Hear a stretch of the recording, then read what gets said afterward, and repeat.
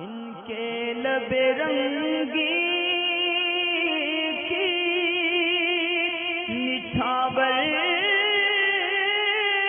थी कि जिसने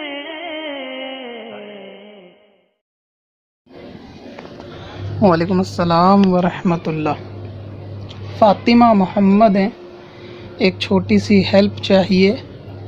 कि करके तुम्हारे गुनाह मांगे तुम्हारी पनाह। तुम कहो, दामन में आ तुम पे करोड़ों दुरूद। इसका क्या मतलब है बताएँ? आई एम कन्फ्यूज़ असल में इसमें शायद बाकी दिक्कत जुमलों में तो नहीं है। पहली लाइन में कंफ्यूज कन्फ्यूज़न लोगों को होती है। करके तुम्हारे गुनाह मांगे तुम्हारी पनाह। तो इसका क्या मतलब है? असल में तुम्हारे के बाद वहाँ पर आप जो है वो कोमा लगा लें जहन में कि वहाँ कोमा है। उसके बाद आगे का सेंटेंस को पूरा करें। और यहाँ तुम्हारे से मुराद, तुम्हारे उम्मती लें।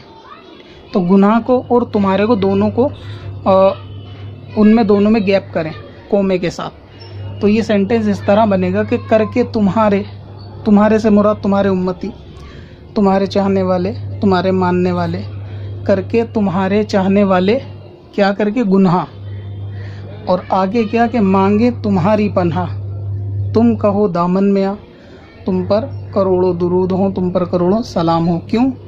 क्योंकि तुम्हारे चाहने वाले गुनाह करके तुम्हारी मदद चाहते हैं और उसके बावजूद भी तुम उनको अपने पास बुलाते हो, उनको बख्शवाओगे।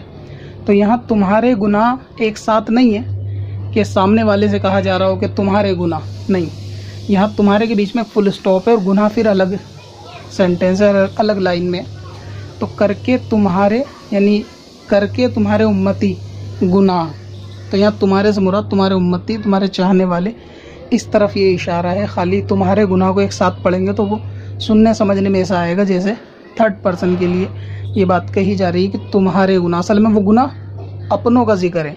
और यहाँ तुम्हारे से मुराद, तुम्हारे चाहने वाले हैं, और गुनाह मतलब गुनाह यानी करके तुम्हारे चाहने वाले गुना फिर भी मांगते हैं तुम्हारी पनाह ये इस तरह से करके तुम्हारे गुनाह मांगे तुम्हारी पनाह। तो ये तुम्हारे मतलब तुम्हारे चाहने वाले तुम्हारे उम्मती।